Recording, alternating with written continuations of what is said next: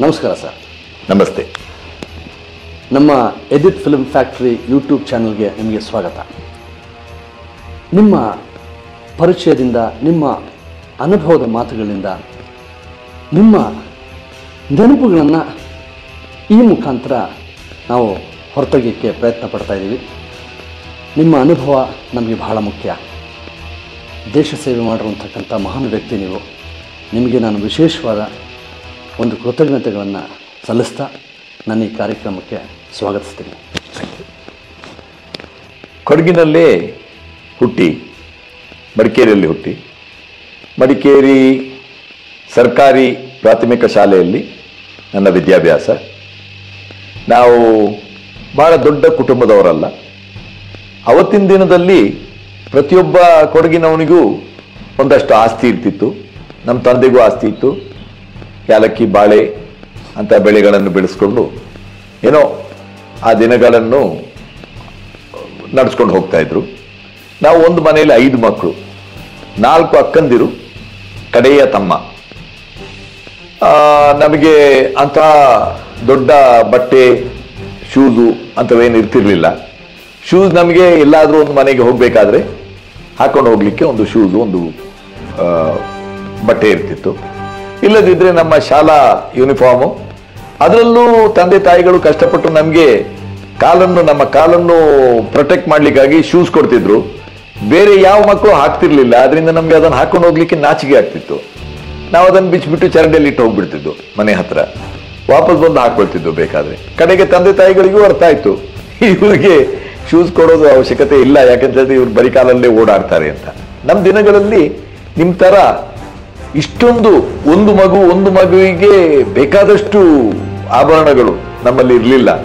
ನಾವು ಹರಿದ ಬಟ್ಟನ್ನು ಹಾಕೊಂಡು ಹೋಗ್ತಿದ್ದು, ಶಾಲೆಯಲ್ಲಿ ನಮಗೆ ಹೇಳಿಕೊಡ್ತಾ ಇದ್ರು, ಬಟ್ಟೆ ಹರಿದಿದ್ರೂ ಪರವಾಗಿಲ್ಲ, ಶುಭ್ರವಾಗಿರಬೇಕು, ಹೊಲ್ದಿರಬೇಕು ಅಂತ.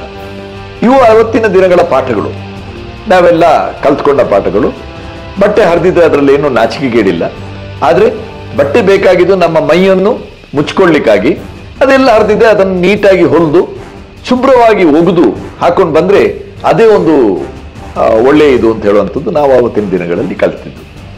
ಮತ್ತು ನಿಮ್ಮ ತಂದೆ ತಾಯಿಯ ಪರಿಚಯ ತಂದೆ ಒಳ್ಳೆ ದೊಡ್ಡ ಕುಟುಂಬದವರಾಗಿದ್ದರು ಅವತ್ತಿನ ದಿನಗಳಲ್ಲಿ ನಿಮ್ಮ ಐಶ್ವರ್ಯ ನಿಮ್ಮ ಗದ್ದೆಯಲ್ಲಿ ನಡೀತಿತ್ತು. ನನ್ನ ದಿನಗಳಲ್ಲಿ ಗದ್ದೆಯಿಂದ ಅದು ತೋಟಕ್ಕೆ ಬಂದಿತ್ತು. ಸೊ ಗದ್ದೆ ಅಂದರೆ ಯಾರಿಗೆ ಒಂದು ಸಾವಿರ ಬಟ್ಟಿ ಗದ್ದೆ ಇದೆಯೋ, ಅವ್ನು ಸಾವಿರ ಬಟ್ಟಿ ಓನರ್ ಅವನಿಗೆ ಎಷ್ಟು ಕಾಡಿತ್ತು, ಎಷ್ಟು ತೋಟ ಇತ್ತು ಅದು ಮುಖ್ಯವಾಗಿರಲಿಲ್ಲ. ಗದ್ದೆ ಇದ್ರೆ ಊಟಕ್ಕೆ ಅನ್ನ ಇದೆ ಅನ್ನೋ ಅರ್ಥ. ಸೊ ಯಾವ ಯಾವ ಮನೆಯಲ್ಲಿ ತಮ್ಮ ಮಗಳನ್ನು ಕೊಡಬೇಕಾದ್ರೂ ಆ ಮನೆಯಲ್ಲಿ ಗದ್ದೆ ಇರಬೇಕಿತ್ತು. ನಮ್ಮ ತಂದೆದು ಕುಟುಂಬದಲ್ಲಿ ಮೂರು ಸಾವಿರ ಬಟ್ಟಿ ಗದ್ದೆ ಇತ್ತು. ಅದರಿಂದ ಗದ್ದೆ ಒಂದು ಐಶ್ವರ್ಯವಾಗಿರ್ತಿತ್ತು ಅವತ್ತಿನ ದಿನಗಳಲ್ಲಿ. ಬಹಳಷ್ಟು ಅಕ್ಕಿ ಬೆಳೀತಿದ್ರು. ಅದನ್ನು ವ್ಯಾಪಾರವನ್ನು ಮಾಡ್ಕೊಳ್ತಿದ್ರು. ಸೊ ಗಟ್ಟಿಮುಟ್ಟಾಗಿ ಬೆಳೆದಿದ್ರು. ಸೊ ಅವರು ಮೊದಲು ಒಬ್ಬನೇ ಮಗ ಇರಬೇಕಾದ್ರೆ ಅವರನ್ನು ಸೇಂಟ್ ಅಲೂಷಿಯಸ್ ಮಂಗಳೂರಲ್ಲಿ ಓದಿಸಿದ್ರು. ಆದ್ರೆ ಆ ಪರಿಸ್ಥಿತಿ ನಮ್ಗಿರ್ಲಿಲ್ಲ. ನಾವು ಆ ಸ್ಥಾನಕ್ಕೆ ಬಂದು ತಲುಪಬೇಕಾದ್ರೆ ನಾವು ಅಂತಸ್ತಿನಲ್ಲಿ ಕೆಳಗೆ ಬಂದಿದ್ದು, ನಮ್ಮ ಹತ್ರ ಅಷ್ಟೊಂದು ಹಣ ಇರಲಿಲ್ಲ. ನಾವು ಲೋಕಲ್ ಸರ್ಕಾರಿ ಪ್ರಾಥಮಿಕ ಶಾಲೆಯಲ್ಲಿ ಓದಿದ್ದು. ಆದ್ರೆ ಅವತ್ತಿನ ಪ್ರಾಥಮಿಕ ಶಾಲೆಯಲ್ಲಿ ನಾವು ಓದಿದ್ದ ಪಾಠಗಳನ್ನು, ಇವತ್ತು ನಾನು ಎಷ್ಟೋ ಕಾನ್ವೆಂಟ್ ಶಾಲೆಗಳಿಗೆ ಹೋಗಿ ಮಕ್ಕಳನ್ನು ಸಂಬೋಧಿಸಿ ಮಾತಾಡ್ತೇನೆ. ಆ ಸ್ಟ್ಯಾಂಡರ್ಡ್ ನಾನು ಇನ್ನೂ ಕಾಣಲಿಕ್ಕೆ ಸಿಕ್ಕಿಲ್ಲ. ಅದಿತ್ತು ನಮ್ಮ ಅವತ್ತಿನ ಗುರುಗಳ ಒಂದು ಶಕ್ತಿ. ಅವ್ರು ಯಾವ ರೀತಿಯಲ್ಲಿ ನಮಗೆ ಆ ಜ್ಞಾನವನ್ನು ಹಂಚ್ತಿದ್ರು? ಸಂಘ ನಿಮ್ಮ ವಿದ್ಯಾಭ್ಯಾಸ ಎಲ್ಲ ಇತ್ತು ಸರ್? ಮೊದಲನೇ ಐದು ತರಗತಿಗಳು ಸರ್ಕಾರಿ ಪ್ರಾಥಮಿಕ ಶಾಲೆ ಮಡಿಕೇರಿ. ಅಲ್ಲಿಂದ ಅದೊಂದು ಹುಮ್ಮಸ್ಸಿತ್ತು. ನಮ್ಮ ಶಾಲೆಯಲ್ಲಿ ನಮ್ಮ ಟೀಚರ್ ಬಂದು ಅನೌನ್ಸ್ ಮಾಡಿದ್ರು. ಹೀಗೀಗೆ ಒಂದು ಪರೀಕ್ಷೆ ಇದೆ. ಆ ಪರೀಕ್ಷೆಯಲ್ಲಿ ಸೆಲೆಕ್ಟ್ ಆದವರು ಸೈನಿಕ ಶಾಲೆಯಲ್ಲಿ ಹೋಗಿ ಓದ್ಬೋದು. ಸೈನಿಕ ಶಾಲೆಯನ್ನು ಭಾರತದ ಪ್ರತಿಯೊಂದು ರಾಜ್ಯದಲ್ಲಿ ಒಂದೊಂದು ಶಾಲೆಯನ್ನು ತೆರೀತಾ ಇದ್ದಾರೆ. ಅದರಲ್ಲಿ ಹೋದ್ರೆ ನಿಮಗೆ ಫುಟ್ಬಾಲ್ ಹಾಕಿ ಕ್ರಿಕೆಟ್ ಎಲ್ಲ ಆಟಗಳಿರ್ತವೆ. ನಾವು ಪುಟ್ಟ ಮಕ್ಕಳಿದ್ದಾಗ ನಮಗೆ ಆಟಗಳೇ ಮುಖ್ಯ. ಹಾಗೂ ಸ್ವಿಮ್ಮಿಂಗ್ ಅಂದ್ರೆ ಈಜುವಿಕೆ, ಈಜುಗೊಳ, ಹಾಗೂ ಕುದುರೆ ಸವಾರಿ ಮಾಡೋ ಕೊಳ ಇದು ಸ್ಥಾನ ಇರ್ತದೆ ಅಂತ ಹೇಳುವಂಥದ್ದನ್ನು ಕೇಳಿದ ಕೂಡಲೇ ನನ್ನ ಹೃದಯದೊಳಗೆ ಅದೊಂದು ಆಸೆ ಹುಟ್ಟು. ಮತ್ತು ನಾವು ನಮ್ಮ ಐದನೇ, ಆರನೇ ವಯಸ್ಸಿನಿಂದ ಕೇಳ್ಕೊಂಡು ಬಂದಿದ್ದೆ ಅಭಿಮನ್ಯು ಕತೆ, ಅರ್ಜುನನ್ ಕತೆ, ಭೀಮನ್ ಕತೆ. ನಮ್ಮ ಪುರಾತನ ಧರ್ಮದಲ್ಲಿ ಮಹಾಭಾರತ, ರಾಮಾಯಣದಲ್ಲಿ ರಾಮ, ಲಕ್ಷ್ಮಣ, ಆಂಜನೇಯ ಇಂಥವ್ರ ಕಥೆಗಳನ್ನೇ ಕೇಳ್ಕೊಂಡು ಬೆಳೆದಿದ್ರಿಂದ ನಾನು ಒಬ್ಬ ಯೋಧನಾಗಬೇಕು ಅನ್ನುವಂಥ ಒಂದು ಆಸೆ ಅವತ್ತಿನ ದಿನಗಳಲ್ಲಿದ್ದು. ಆ ಆಸೆಯಿಂದಾಗಿ ನನಗೆ ಬಹಳ ಒಂದು ಹುಮ್ಮಸ್ಸಿತ್ತು. ನಾ ಈ ಶಾಲೆಯನ್ನು ಹೇಗಾದರೂ ಸೇರಬೇಕು ಅಂತ. ಅವತ್ತು ಅದನ್ನ ಅನೌನ್ಸ್ ಮಾಡಿದ ಕೂಡಲೇ ಎತ್ಕೊಂಡು ಆ ಅಡ್ರೆಸ್ ಅನ್ನು ಬರ್ಕೊಂಡು ಓಡ್ ಬಂದು ಓಡ್ ಬಂದು ನನ್ನ ತಾಯಿಗೆ ಹೇಳಿದೆ, ಅಮ್ಮ, ಈ ಶಾಲೆಗೆ ಬರಿಬೇಕು ಅಪ್ಲಿಕೇಶನ್ ತರಿಸ್ಬೇಕು, ನನಗೆ ಈ ಶಾಲೆಗೆ ಹೋಗ್ಬೇಕು ಅಂತ. ಅದಕ್ಕೆ ಹೋಗ್ಲಿಕ್ಕೆ ಅಷ್ಟು ಸುಲಭ ಇಲ್ವೋ? ನೀನು ತುಂಬಾ ಓದಬೇಕು, ತುಂಬಾ ಕಷ್ಟಪಡಬೇಕು ಅಂತ ಹೇಳಿದ್ರು. ಮಾಡ್ತೀನಿ ಅಂತ ಹೇಳಿದೆ. ನನ್ಗೊಂದು ಟ್ಯೂಷನ್ ಟೀಚರ್ ಇಟ್ಕೊಟ್ರು. ಆ ಶಾಲೆಯಿಂದ ಕ್ವೆಶ್ಚನ್ ಆನ್ಸರ್ಗಳು ಬಂದು ಯಾವ ರೀತಿಯಲ್ಲಿ ಅವ್ರು ಕೇಳ್ತಾರೆ ಅಂತ. ಪ್ರತಿದಿನ ಶಾಲೆ ಮುಗಿದ ಮೇಲೆ ನಾನು ಓಡ್ತಾ ನಮ್ಮ ಮಡಿಕೇರಿಯ ಆಂಜನೇಯ ಗುಡಿ ಹತ್ರ ಬಂದು ತಲುಪಬೇಕಾದ್ರೆ ಕಾಲೇಜ್ಗೆ ಹೋಗ್ತಾ ಇದ್ದ ನನ್ನ ಅಕ್ಕ ನನಗಾಗಿ ತಿಂಡಿ, ಹಾಲು ಹಿಡ್ಕೊಂಡು ಬಂದು ಅಲ್ಲಿ ಕುಡಿಸಿ ನನ್ನನ್ನು ಟ್ಯೂಷನ್ ಕ್ಲಾಸಿಗೆ ಕಳಿಸ್ತಿದ್ರು ಮಂಗಳೂರು ರೋಡಲ್ಲಿ ಟ್ಯೂಷನ್ ಶಾಲೆ ಇತ್ತು ಟ್ಯೂಷನ್ ಕ್ಲಾಸ್ ಇತ್ತು. ಅಂದರೆ ಅವತ್ತಿನ ದಿನಗಳಲ್ಲಿ ಇದೇ ನಾವು ಈಗ ನೋಡ್ತಾ ಇರುವ ಶಿವನ್ ವಯಸ್ಸಿನ, ಎಂಟು ಒಂಬತ್ತು ವಯಸ್ಸಿನ ಹುಡುಗ ಶಾಲೆಯಿಂದ ಓಡ್ತಾ ಬಂದು ತನ್ನ ಕಾಪಿಯನ್ನು ಕುಡಿದು ಇನ್ನೊಂದು ಎರಡು ಮೈಲು ಓಡ್ಕೊಂಡು ಹೋಗಿ ಟ್ಯೂಷನನ್ನು ಮಾಡಿ ವಾಪಸ್ ಬರ್ತಾ ಇದ್ದೆ. ಪರೀಕ್ಷೆ ತಗೊಂಡೆ ಪರೀಕ್ಷೆಯಲ್ಲಿ ಪಾಸ್ ಆದೆ. ಬಹಳ ನೋವಿತ್ತು. ನನ್ನ ತಂದೆ ಹತ್ರ ನನಗೆ ಬೇಕಾದ ಬಟ್ಟೆ ಅವ್ರು ಲಿಸ್ಟ್ ಕೊಟ್ಟಿದ್ರು ಇಂತಿಂತ ಬಟ್ಟೆ ತರಬೇಕು ಅಂತ. ಅಷ್ಟು ಬಟ್ಟೆ ತರಲಿಕ್ಕಿರೋ ಸಾಕತ್ ಇರ್ತದೋ ಇಲ್ವೋ ಅನ್ನೋಂಥ ಒಂದು ವರಿಸಿತ್ತು ಆದರೆ ಅದಕ್ಕೆ ಸರಿಯಾಗಿ ನನಗೆ ಮೆರಿಟ್ ಸ್ಕಾಲರ್ಶಿಪ್ಪು ಸಿಕ್ತು. ಶಾಲೆಯ ಎಲ್ಲವನ್ನು ಕೊಡುವಂತಾಯಿತು. ಅದರಿಂದ ಆ ಶಾಲೆಯಲ್ಲಿ ಕೂಡಿ ಓದಿ ಒಂದು ಒಳ್ಳೆಯ ಪರಿಸ್ಥಿತಿಗೆ ತಲುಪಿದೆ ಎಷ್ಟನೇ ತರಗತಿಯವರೆಗೂ ತಾವು ವಿದ್ಯಾಭ್ಯಾಸ ಆರನೇ ತರಗತಿಗೆ ಹೋಗಿ ಸೇರಿದ್ದೆ. ಅದು ಹನ್ನೊಂದನೇ ತರಗತಿವರೆಗೆ ಅವತ್ತಿನ ದಿನಗಳಲ್ಲಿ ಹನ್ನೊಂದು ಹನ್ನೆರಡು ಇತ್ತು ನನ್ನ ದಿನದಲ್ಲಿ. ಆದರೆ ನಾವು Delhi board higher secondary certificate ಅನ್ನುವಂಥ ಒಂದು ಪರೀಕ್ಷೆ ಕೂರ್ತಿದ್ದು ಅದರಲ್ಲಿ ಬರೀ ಒಂದೇ ವರ್ಷ ಇರ್ತಿತ್ತು ಅದು. ನಾವು ಒಂದು ವರ್ಷ ಎರಡು ವರ್ಷದ ಪಾಠವನ್ನು ಒಂದೇ ವರ್ಷದಲ್ಲಿ ಮುಗಿಸ್ತಿದ್ದು. ಎಚ್ ಎಸ್ ಸಿ ಸರ್ಟಿಫಿಕೇಟ್ ಪಡ್ಕೊಂಡು ಕಾಲೇಜಿಗೆ ಹೋಗ್ತಿದ್ವು ನಾವು. ಎಸ್ ಈಗ ಇನ್ನೊಂದು ಬಹಳನೇ ಖುಷಿಯಾಗುತ್ತೆ ಖುಷಿ ಆಗುತ್ತೆ. ಇನ್ನೊಂದು ಕಡೆ ಎಲ್ಲೋ ಒಂದು ಕಡೆ ಮನೆಯವ್ರಿಗೆ ಕೊನೆ ಮಗ ಅಂತಂದರೆ ಬಹಳ ಪ್ರೀತಿ ಇರುತ್ತೆ. ಹೌದು. ಏನೇ ಇದ್ದರೂ ಭಾಳ ಪ್ರೀತಿ ನಿಮ್ಮ ಮೇಲೆ ಜಾಸ್ತಿ ಇರುತ್ತೆ. ನೀವು ಆರ್ಮಿಗೆ ಸೇರಿಕೊಳ್ಬೇಕಾದ್ರೆ ನಿಮ್ಮ ಮನೆಯಲ್ಲಿ ಅಮ್ಮ, ಅಪ್ಪ, ನಿಮ್ಮ ಎಲ್ಲ ನಿಮ್ಮ ಕುಟುಂಬಕ್ಕೆ ಅಲ್ಲಿ ಹೋಗ್ತೀನಿ ಅಂತಂದಾಗ ಅವರು, ಅವರ ರಿಯಾಕ್ಷನ್ ಹೇಗಿತ್ತು? ನನ್ನ ಹತ್ತನೇ ವಯಸ್ಸಿನಲ್ಲಿ, ಮಡಿಕೇರಿಯಲ್ಲಿ ನನಗೀಗಲೂ ಬಹಳ ಸ್ಪಷ್ಟವಾಗಿ ಅದು ಯೋಚನೆ ಇರುವಂತಹ ಒಂದು ಇನ್ಸಿಡೆಂಟ್ ನಮ್ಮ ತಂದೆ ನನ್ನನ್ನು, ನನ್ನ ಇಮಿಡಿಯೇಟ್ ಅಕ್ಕನನ್ನು ಕರ್ಕೊಂಡು ಹೋಗಿ ಮಹಾತ್ಮ ಗಾಂಧಿ ಲೈಬ್ರರಿಯಲ್ಲಿ ಒಂದು ಕಾರ್ಡ್ ಮಾಡಿಕೊಟ್ರು. ಆದರೆ ಅವತ್ತಿನ ದಿನಗಳಲ್ಲಿ ಒಂದು ತಿಂಗಳಿಗೆ ಆ ಕಾರ್ಡ್ಗೆ ಐದು ರೂಪಾಯಿ, ದೊಡ್ಡ ಹಣ. ಅದರಲ್ಲಿ ನಾವು ಪ್ರತಿ ಮೂರು ದಿನಕ್ಕೊಂದು ಪುಸ್ತಕವನ್ನು ತಗೊಳ್ಬೋದು. ನನ್ನ ಅಕ್ಕ ಅವಳಿಗೆ ಇಷ್ಟವಾದಂಥ ಪುಸ್ತಕ ತೆಗೆದಿದ್ದು.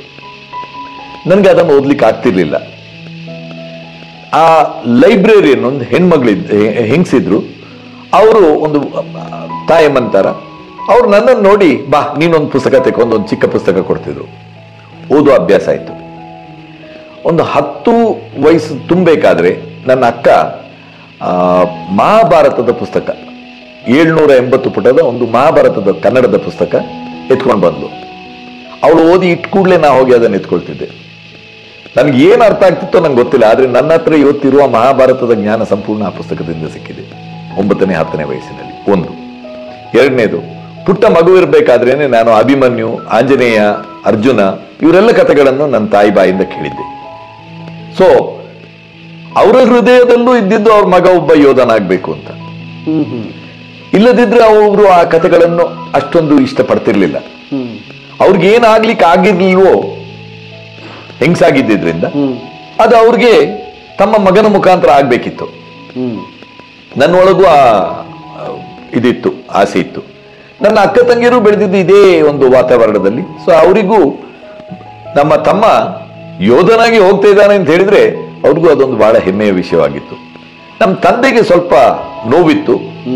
ತುಂಬಾ ವಯಸ್ಸಾಗಿತ್ತು. ನಮ್ಮ ತಂದೆಗೂ ನನ್ಗೆ ಬಹಳ ದೊಡ್ಡ ವ್ಯತ್ಯಾಸವಿತ್ತು. ನಾ ಕಡೆ ಮಗ, ಅವರ ಐವತ್ತನೇ ವಯಸ್ಸಿನಲ್ಲಿ ಹುಟ್ಟಿರಬೇಕು ನಾನು. ಐವತ್ತೈವತ್ತ ಮೂರು ಐವತ್ನಾಲ್ಕನೇ ವಯಸ್ಸಿನಲ್ಲಿ ಅವ್ರಿಗೆ ಹುಟ್ಟಿರ್ಬೇಕು. ಅದರಿಂದ ಅವರಿಗೊಂದು ಸ್ವಲ್ಪ ನೋವಿತ್ತು. ಆ ನೋವಿನಲ್ಲೇ ಅವ್ರು ನರಳಿ ನಾನು ನನ್ನ ಮೊದಲನೇ ಟ್ರೈನಿಂಗ್ ಮುಗಿಸಿ, ಆರು ತಿಂಗಳು ಟ್ರೈನಿಂಗ್ ಮುಗಿಸ್ಬೇಕಾದ್ರೆ ನಂದೊಂದು ಬಹಳ ನಿಕಟವಾದ ಒಬ್ಬ ಅಧಿಕಾರಿ ಮಿಲಿಟರಿಯಲ್ಲಿ ಬ್ರಿಗೇಡಿಯರ್ ಆಗಿದ್ರು. ಅವರು ಅಕಾಡೆಮಿಗೆ ಫೋನ್ ಮಾಡಿ ಹೇಳಿದ್ರು ನಿಮ್ಮ ತಂದೆ ಹೀಗೆ ಕೋಮದಲ್ಲಿದ್ದಾರೆ, ನೀವು ಇಮಿಡಿಯೇಟ್ ಹೋಗಬೇಕು ಅಂತ. ನನ್ನ ವರ್ಷದ ಪರೀಕ್ಷೆಗಳು, ಆ ಆರು ತಿಂಗಳಿನ ಪರೀಕ್ಷೆಗಳನ್ನು ಮಾಪ್ ಮಾಡಿ, ಅವ್ರು ಚೆನ್ನಾಗಿ ಮಾಡಿದ್ದಾರೆ ಬೇರೆ ಟೆಸ್ಟ್ಗಳಲ್ಲಿ ಅಂತೇಳಿ ನನ್ನ ಕಳಿಸಿದ್ರು.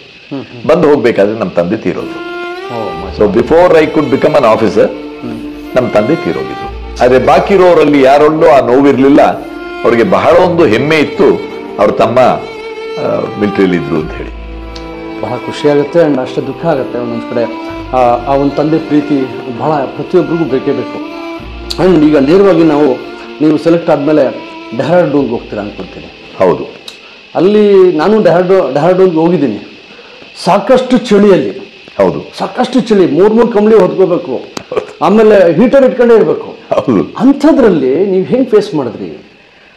ಆ, ನಾನು ನಮ್ಮ ಮಡಿಕೇರಿಯ ಕಾಲೇಜಿನಲ್ಲಿ ವಿದ್ಯಾಭ್ಯಾಸ ಅಂದ್ರೆ ಒಂದು limited atmosphere Sainik school Bijapur disciplined atmosphere ನೀವು ಬೆಳಿಗ್ಗೆ ಏಳಬೇಕಾದ್ರೆ ಆರು ಗಂಟೆಗೆ ಬ್ಯೂಗಲ್ ಕೇಳಿ ಬರ್ತಿತ್ತು.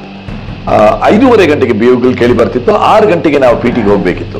ಅಷ್ಟು ಪುಟ್ಟ ವಯಸ್ಸಲ್ಲಿ, ಹತ್ತನೇ, ಒಂಬತ್ತನೇ, ಹತ್ತನೇ ವಯಸ್ಸು ಅದರಿಂದ ಬೆಳೆದವ್ರು ನಾವು. ಬಿಜಾಪುರ ಕಡಿಮೆ ಹೀಟ್ ಇರುವಂತಹ ಸ್ಥಳವಲ್ಲ. ಅಲ್ಲಿ ನಮಗೆ ಮಧ್ಯಾಹ್ನದಲ್ಲಿ ಪನಿಷ್ಮೆಂಟ್ ಸಿಗ್ತಿತ್ತು ಕ್ರಾಲ್ ಮಾಡಲಿಕ್ಕೆ, ಹೊರಗಡೆ. ನಮ್ಮ ಸೀನಿಯರ್ಗಳು ಅಂದ್ರೆ ನಾನು ಹತ್ತು ವಯಸ್ಸಿನವನು, ನನ್ನ ಸೀನಿಯರ್ ಹನ್ನೊಂದು ವಯಸ್ಸಿನವನು. ನಾನು ಆರನೇ ಕ್ಲಾಸು ಅವನು ಏಳನೇ ಕ್ಲಾಸು ಅವ್ನು ನನ್ನನ್ನು ಕರೆದು ಇಲ್ಲಿ ಬಾರೋ ಅಂತ ಹೇಳಿ ನನಗೊಂದು ಪನಿಷ್ಮೆಂಟ್ ಕೊಟ್ಟರೆ ಅದನ್ನು ಮಾಡಬೇಕಾಗ್ತಿತ್ತು. ಅಂತ ಡಿಸಿಪ್ಲಿನ್ ಅನ್ನು ನಾವು ಅಲ್ಲೇ ಕಲ್ತ್ಕೊಂಡಿದ್ದು ಶಾಲೆಯಲ್ಲಿ. ಸೊ ಇಂಡಿಯನ್ ಮಿಲಿಟರಿ ಅಕಾಡೆಮಿ ನನಗೆ ಬಹಳೊಂದು ದೊಡ್ಡ ವ್ಯತ್ಯಾಸ ಕಂಡುಬರಲಿಲ್ಲ ಮೊದಲನೇದಾಗಿ. ಎರಡನೇದಾಗಿ, ಅಲ್ಲಿಯ ಚಳಿ, ಬಹಳ ಚಳಿ ಇದೆ. ಯಾಕೆಂತ ಹೇಳಿದ್ರೆ, ಯಾವಾಗ ನವೆಂಬರ್, ಡಿಸೆಂಬರ್ ತಿಂಗಳು ಬರ್ತದೋ, ನಮ್ಮ ಇಮ್ಮಿಡಿಯೇಟ್ ಬ್ಯಾಕ್ ಡ್ರಾಪ್ ಅಲ್ಲಿ ಇಂಡಿಯನ್ ಮಿಲಿಟರಿ ಅಕಾಡೆಮಿಯನ್ನು ಸ್ವಲ್ಪ ದೂರದಿಂದ ನೋಡಿದ್ರೆ ಅದರ ಹಿಂದ್ಗಡೆ ಕಾಣೋದೇ ನಿಮಗೆ ಶಿವಾಲಿಕ್ ರೇಂಜಸ್ ಶಿವಾಲಿಕ್ ರೇಂಜಸ್ ಅಂದ್ರೆ ಮುಸೋರಿ ಬೆಟ್ಟ. ಆ ಮುಸರಿ ಬೆಟ್ಟದ ಮೇಲೆಲ್ಲ ಬಿಳಿಯಾಗಿ ಸ್ನೋ ಕಾಣ್ಲಿಕ್ಕೆ ಶುರು ಆಗ್ಬಿಡ್ತಿತ್ತು. ಮತ್ತೆ ದಿನಗಳು ಕಳೆದಂತೆ ಅದರಲ್ಲಿ ಫುಲ್ ಸ್ನೋ ಫಾರ್ಮೇಶನ್ ಆಗಿ ಕಂಪ್ಲೀಟ್ ಆಗಿ ಬೆಟ್ಟಗಳು ಬಿಳಿ ಆಗ್ಬಿಡ್ತಿದ್ವು. ಆ ದಿನಗಳಲ್ಲಿ ರಾತ್ರಿಯ ಹೊತ್ತು ಹನ್ನೊಂದು, ಹನ್ನೆರಡು ಗಂಟೆಗೆ ನಮ್ಮ ಇಮಿಡಿಯೇಟ್ ಸೀನಿಯರ್ಸ್ ನಾ ಫಸ್ಟ್ ಟರ್ಮ್ ಅಂದ್ರೆ ಮೊದಲನೇ ಆರು ತಿಂಗಳಲ್ಲಿ ಇರಬೇಕಾದ್ರೆ ಎರಡನೇ ಆರು ತಿಂಗಳು ಟ್ರೈನಿಂಗ್ ಮಾಡ್ತಾ ಇರುವಂತಹ ನನ್ನ ಸೀನಿಯರ್ ನನ್ನನ್ನು ಕರೆದು ಬಟ್ಟೆ ಬಿಚ್ಚಿ ಹೊರಗಡೆ ನಿಲ್ಲೋ ನನ್ನ ರೂಮಿಂದು ಅಂತ ಹೇಳಿದ್ರೆ ಬಟ್ಟೆ ಬಿಚ್ಚಿ ಹೊರಗಡೆ ನಿಲ್ಬೇಕಾಗ್ತದೆ. ಓ. ಬರೇ ಒಂದು ಲಂಗೋಟ್ ಹಾಕೊಂಡು ನಾವು ಎಷ್ಟೆಷ್ಟೋ ಗಂಟೆ ಹೊರಗಡೆ ನಿಂತ್ಕೊಂಡಿರ್ತಿದ್ವು. ಎಷ್ಟೋ ಸಲ ನಮಗೆ ಪನಿಷ್ಮೆಂಟ್ ಯಾವ ಥರ ಸಿಕ್ತಿತ್ತು ಅಂತ ಹೇಳಿದ್ರೆ ಎರಡು ಜನ ಒಟ್ಟಿಗೆ ಸಿಕ್ಕಾಕೊಂಡ್ರೆ ಬಾ B my mosquito net rod today ಅಂತ ಹೇಳ್ತಿದ್ವು. ಅದರ ಅರ್ಥ ಏನು ಅಂದ್ರೆ ಮಸ್ಕಿಟೋ ನೆಟ್ ಹಾಕಬೇಕು. ಇಲ್ಲ ಸೊಳ್ಳೆ ಕಚ್ತದೆ. ನಮ್ಮನ್ನು ಕರೆದು ಬೆತ್ತಲೆ ಮಾಡಿ ನಮ್ಮ ಲಂಗೋಟಿಯಲ್ಲಿ ನಾವಿಬ್ರಾಳು ಆ ಕಡೆ ಈ ಕಡೆ ಅವ್ರದ್ದು ಮಸ್ಕಿಟೋ ನೆಟ್ಟನ್ನು ಹಿಡ್ಕೊಂಡಿರೋದು. ಅವ್ರು ಅದರೊಳಗೆ ಮಲಗ್ತಾ ಮಲಗಿ ನಿದ್ದೆ ಹೊಡಿತಾ ಇರೋದು. ಈ ಡ್ಯೂಟಿಯನ್ನು ನಾವು ಮಾಡಿದ್ದೀವಿ. ಅಂದ್ರೆ ಯಾಕೆ ಈ ತರ ಪನಿಷ್ಮೆಂಟ್ಸ್ಗಳು ನಿಮ್ಮನ್ನು ಯಾರು ಕಾರಣವಿಲ್ಲದೆ ಪನಿಷ್ಮೆಂಟ್ ಕೊಡ್ತಿರ್ಲಿಲ್ಲ. ನೀವೇನಾದ್ರು ಒಂದು ತಪ್ಪು ಮಾಡಿರ್ತೀರ. ರೂಲ್ಸ್ಗಳು ಹೆಚ್ಚಾದಷ್ಟು ತಪ್ಪುಗಳು ಹೆಚ್ಚಾಗ್ತದೆ. ಆ ಇಂಡಿಯನ್ ಮಿಲಿಟರಿ ಅಕಾಡೆಮಿಯಲ್ಲಿ ಅಷ್ಟೊಂದು ಕಟ್ಟುನಿಟ್ಟಾದ ಶಿಸ್ತಿದೆ. ಆ ಶಿಸ್ತಿನೊಳಗೆ ನೀವು ಇಲ್ಲಿಂದ ಈ ರಸ್ತೆಯಲ್ಲಿ ಹೋಗಿ ಅಲ್ಲಿಗೆ ತಿರುಗೋದನ್ನು ನೀವೆಲ್ಲಾದ್ರೂ ಈ ಶಾರ್ಟ್ ಕಟ್ ತೆಗೆದು ಅದು ಯಾಕಂದ್ರೆ ಈ ಲಾನ್ ಹಾಳಾಗ್ತದೆ. ಇಲ್ಲಿ ಹುಲ್ ಬೆಳೆಸ್ತಾ ಇರೋದು ಹಾಳಾಗ್ತದೆ. ನೀವು ಕೆಲವು ಜಾಗಗಳಲ್ಲಿ ಓಡ್ಕೊಂಡೇ ಹೋಗ್ಬೇಕು. ನಿಮ್ಗೆ ಅರ್ಜೆಂಟ್ ಇಲ್ಲ, ಅವಸರವಿಲ್ಲ, ಸಮಯ ಇದೆ. ಸೊ ಓಡೋ ಅವಶ್ಯಕತೆ ಇಲ್ಲ, ಯಾರು ನೋಡ್ತಾ ಇಲ್ಲ ಅಂತ ಹೇಳಿ ನೀವು ನಡ್ಕೊಂಡು ಹೋಗ್ತಾ ಇದ್ದೀರಾ? ಯಾಕಂದ್ರೆ ಬೆಳಿಗ್ಗೆ ಐದು ಗಂಟೆಯಿಂದ ನೀವು ಎದ್ದಿದ್ದೀರಾ? ನೀವು ಓಡ್ಕೊಂಡೇ ಇದ್ದೀರಾ? ಒಂದು ಸೈಕಲ್ ಬಿಡ್ತಾ ಇದ್ರೆ ಅಲ್ಲಿ ಹೋದ ಕೂಡಲೇ ಮೊದಲು ನಿಮ್ಗೆ ಸಿಗೋದೆ ಮೊದಲನೇ ಕೆಲಸ. ಇಂಡಿಯನ್ ಮಿಲಿಟರಿ ಅಕಾಡೆಮಿಗೆ ಸೇರಿದ ಮೊದಲನೇ ಕೆಲಸ. ನಿಮ್ಮ ಒಬ್ಬ ಸೀನಿಯರ್ ನಿಮ್ಗೆಲ್ಲರಿಗೂ ಫಾಲಿನ್ ಅಂತಾನೆ. ಎಲ್ಲರನ್ನು ಓಡಿಸ್ಕೊಂಡು ಒಂದೂವರೆ ಕಿಲೋಮೀಟರ್ ದೂರ ಕರ್ಕೊಂಡು ಹೋಗಿ ಅಲ್ಲಿ ಸೈಕಲ್ ಶಾಪ್ ಇದೆ. ಅಲ್ಲಿ ನಿಮಗೆ ಸೈಕಲ್ ಇಶ್ಯೂ ಮಾಡ್ತಾರೆ. ಇದು ಯಾವ ಊರಲ್ಲಿ ಇದು? ಇದು Indian military academy Dehradun okay okay ಆ ಸೈಕಲ್ ಶಾಪ್ ಅಂದ್ರೆ ಅದು Indian military academy cycle shop ಅದು ಹೇಗಿದೆ ಅಂದ್ರೆ ಆ ರೂಮು